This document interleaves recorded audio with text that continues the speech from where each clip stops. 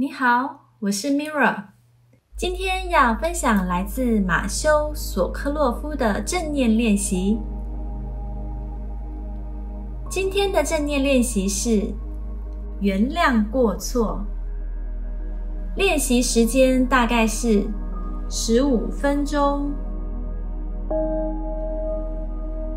怨恨的英文字是源自拉丁语，它原本的意思是。再次去感受，我们每一个人都曾有过怨恨情绪，对过去的伤害紧抓不放，这是非常痛苦的经验。当你紧紧抓住伤害不放，那个痛苦的感觉就会不断重复出现。有时候我们可能会觉得。怨恨感可以让自己将来不再受到伤害，但是如果你能够宽恕、原谅，你的心就会多出一些空间，让爱与慈悲可以在那里生根。练习宽恕，可以帮助你放下过去的痛苦，让你的心。与意识都得到自由。以下是练习步骤：第一步，找到一个舒服的静坐冥想姿势，让自己的身体开始慢慢升起温柔的感觉。察觉你的身体上是不是有哪些地方觉得不舒服或是紧绷，试着将它放松。第二步，心里面想着一个你怨恨的人。如果你是第一次做这个练习，请不要选择你对他有强烈恨意的人。一开始先不要挑那么困难的，先从比较容易的开始，感受你心里面那个受伤的感觉，以及为什么你对他有恨意。第三步，在心里升起一个意念：你要培养一颗包容慈悲的心。如果你的心有所抗拒，也好好关照这个抗拒，不要把它压下去。给自己一点时间，不要强迫自己。第四步。接着，开始送出宽恕的话语，尽可能让自己进入这些话语的感受之中，放慢速度，在心里默默说出这句话，用你自己的节奏，在每一次吐气的同时说出这句话，可能会有点帮助，或是间隔每一次吐气的时间说一句。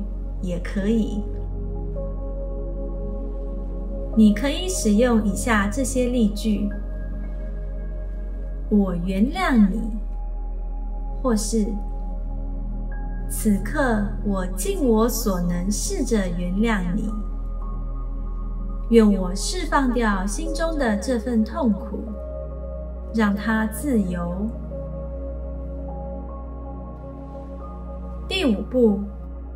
这样持续做六或七分钟，然后把这些句子放掉，把注意力放在自己身上。你正知道，你也曾经伤害过别人。你不需要去回想你曾经对别人的伤害，只要承认自己确实也曾为别人带来难题。无论你是不是有意的，心里想着一个曾经被你伤害的人，然后开始说出以下这些句子，请这个人原谅你。如果我曾经对你造成任何伤害，请你原谅我。希望你在心里能够找到一个空间，来原谅我。愿你能彼此原谅。第六步，这样做五分钟，然后把注意力拉回到自己的身体上，做几分钟深呼吸，把觉知意识全部放在呼吸上，然后张开眼睛。在做宽恕练习时，你可能会觉得自己这样很弱。而且将来可能会因此受伤。宽恕不是要你接受某人回到你的生活中，让他们再次伤害你，或是觉得别人可以来伤害你也没关系，并不是这样。你可以放下怨恨，同时保有自己的界限。宽恕的心是出于对自己慈悲关心而设定界限，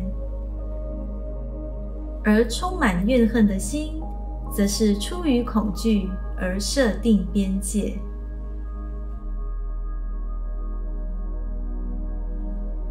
这是今天的正念练习分享，帮助你活在当下每一刻，为情绪按下暂停键。减轻压力，找回平静。谢谢你的聆听，我是 Mira。愿你生命充满自由，感恩你和我一起完美疗愈。